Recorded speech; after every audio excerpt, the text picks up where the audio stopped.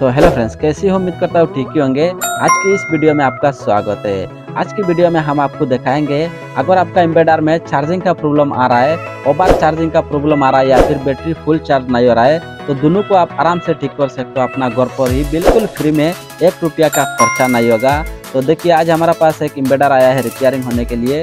तो पहले हम देखते हैं, ये इन्वर्टर में फॉल्ट क्या है? कस्टमर का कहना है, उसमें बैटरी फुल चार्ज नहीं हो रहा है। फुल चार्ज ना होने का कारण क्या है और ओवर चार्ज होने का कारण क्या है, दोनों स्टेप आपको बताएँगे। तो वीडियो बहुत इंटरेस्टिंग होने वाला है। वीडियो को स्किप ना करके लास्ट तक ज़रूर देखना। वीडियो अगर अच्छा लगा तो लाइक करना और चैनल को साथ में सब्सक्राइब कर लेना।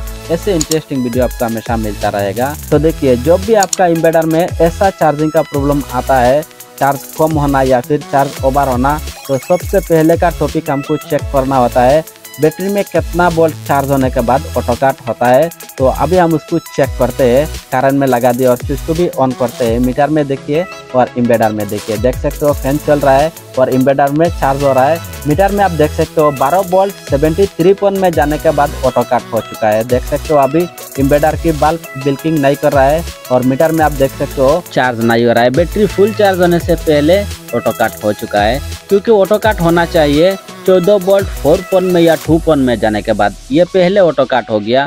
तो ये फॉल्ट आता कहाँ से? डायरेक्ट स्टेप आपको दिखाते हैं। और बाद में हम दिखाएँगे ये बैटरी को चार्ज में लगा के कितना पॉइंट चार्ज होने के बाद ऑटो काट होता है। बिल्कुल फ्री में अपना घर में आराम से सेटिंग कर सकते हो। तो देखिए सर्किट में ऐसे तो आपको बहुत सारा कंपोनेंट मिल जाएगा। डायरेक्ट स्टेप आपको बताते हैं कैसे आपको चेक करना है और कहाँ पर आपको ये फॉल्ट मिलेगा। तो आप देखिए, यहाँ पर आप देख सकते हो एक बड़ा एसी लगा हुआ है। तो ये एसी में हमको सेटिंग करना है तो ये एसी में हमको तीन पॉइंट चेक करना है। और यहाँ पर आप देख सकते हो एक प्रीसेट लगा हुआ है। ये प्रीसेट से हमको वोल्टेज एडजस्ट करना है ये एसी का। तो ये एसी में हमको तीन पॉइंट में वोल्टेज चेक करना है। एक नंबर पिन में और तीन नंबर पिन में और चौबीस नंबर पिन में। पहले हम देखते हैं एक नंबर पिन में कितना वोल्ट आ रहा है। एक नंबर पिन में आना चाहिए फाइव पॉइंट ज़ीरो वन तो देखते हैं एक नंबर पिन में कितना वोल्ट आ रहा है। देखिए फाइव पॉइंट ज़ीरो वन देख सकते हो, जितना आना चाहिए, इतना ही आ रहा है। यानी कि एक नंबर पिन में हमारा वोल्टेज बराबर आ रहा है। तो अभी हम देखते हैं 24 नंबर पिन में 24 नंबर पिन में इतना वोल्ट आना चाहिए 5.01 तो अभी हम देखते हैं 24 नंबर पिन में। ऐसे कि ये साइड में एक काट का निशान आपको मिल जाएगा। ये साइड से आपको गिनती करना है और 24 नंबर पिन में देखना है। तो देखिए, ये हमारा 24 नंबर पिन। तो अभी हम उसमें देखते हैं कितना बोल्ट आ रहा है? 5.01 देख सकते हो, जितना बोल्ट आना चाहिए 24 नंबर पिन में, ठीक इतना वोल्टेज आ रहा है। तो अभी हम देखते हैं तीन नंबर पिन में कितना वोल्ट आ रहा है। तीन नंबर पिन में आना चाहिए थ्री पॉइंट फाइव ज़ीरो साढ़े तीन वोल्ट तक आना चाहिए। ये सबसे मेन सेटिंग होता है, ध्यान से देखना। तो अभी हम देखते हैं, तीन नंबर फ़ोन में कितना वोल्ट आ रहा है। ओ भाई, ये क्या है? थ्री पॉइंट एट्टी नाइन देख सकते हो वोल्टेज काफ़ी ज़्यादा आ रहा है, जिसके कारण में बैटरी फुल चार्ज नहीं हो रहा है। फुल चार्ज होने से पहले ऑटो काट हो जा रहा है। और यहाँ पर आपको दो बात का ध्यान रखना है। देखिए, तीन नंबर पिन में अगर वोल्टेज ज़्यादा आ रहा है तो आपका बैटरी बिल्कुल भी फुल चार्ज नहीं होगा। और ये तीन नंबर फ़ोन में अगर वोल्टेज कम आ रहा है, मान लीजिए तीन नंबर फ़ोन में आ रहा है थ्री पॉइंट फोर ज़ीरो या फिर थ्री पॉइंट टू ज़ीरो तो आपका बैटरी ओवर चार्ज होगा, बैटरी गर्म होगा, बैटरी बार बार खराब हो जाएगा।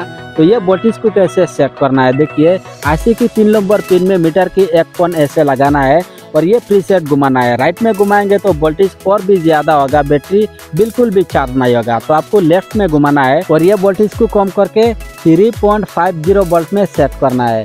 और यहाँ पर आपको तीन बात का ध्यान रखना है। जब भी आप ऐसे सेटिंग करते हो तो इम्बेडर कारण में नहीं लगा होना चाहिए और इम्बेडर ऑफ़ रख के आपको सेटिंग करना है। और मीटर की ब्लैक वायर आपको बैटरी की माइनस वन में लगा के सेटिंग करना है। तो देखिए, मैंने 3.50 वोल्ट में सेट कर दिया और अभी हम दोबारा उसको चेक करेंगे। देखिए, ये 3.50 वोल्ट में सेट हो गया, साढ़े तीन वोल्ट में। और अभी हम उसी से बैटरी चार्ज करके देखते हैं, कैसा चार्ज होता है। पहले तो बैटरी बिल्कुल चार्ज नहीं हो रहा था बारह वोल्ट सेवेंटी थ्री पॉइंट में जाने के बाद ऑटो काट हो जा रहा है तो अभी हम देखते हैं कैसा चार्ज होता है।